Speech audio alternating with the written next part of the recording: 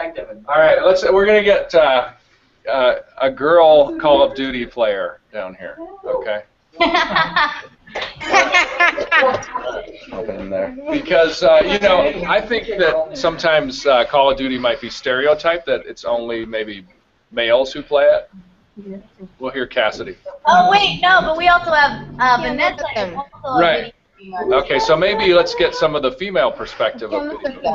Oh, John, I'm gonna send Johnny. And I'm gonna tell him. Your mama's gay. And oh, shit. Hi, I'm Cassidy. Um, I play video video games. I play Call of Duty mostly with lots of people in the class. Um, I don't know, like I guess like the bad stuff is like sometimes I get really like mad at the game and I like want to throw the controller and like my parents will be like, "What are you doing?" and that kind of gets pretty bad. But mm. like, overall, like, I think it's pretty fun to John, let me play. you. Hold up. And I think it's cool to play with a whole bunch of Hold different. up, let me send you. Oh, I don't know. Let me do it. I don't need to send you shit. So yeah. I agree with you. I mm-hmm. play video games and well, it can become addicting games.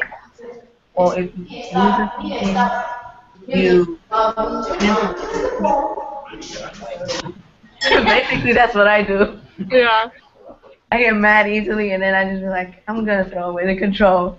Yeah, I feel the same way because like everyone's like doing better than you, and you're just like, I'm done.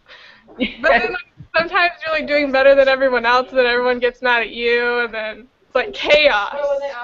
You know? Yeah, and then, then they all get you, yeah, because you're a girl, then everyone's like coming at you. Yeah. It's hard to be a girl gamer, but you know, you gotta do it. You gotta do it.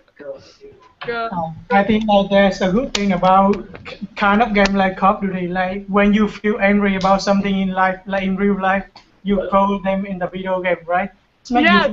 right? That's Yeah, that's what I feel. Like if you're angry, if you have a bad day, you just go play video games. That's Yeah. kind of how I look at it. it's like the That's a better. good Like you are like going Yo. and out on friends. You're just go play video games. You know? Let me see Nicole. Yo, yo, what's up with this? Video gaming can happen in the classroom at all. Do you see a potential for, for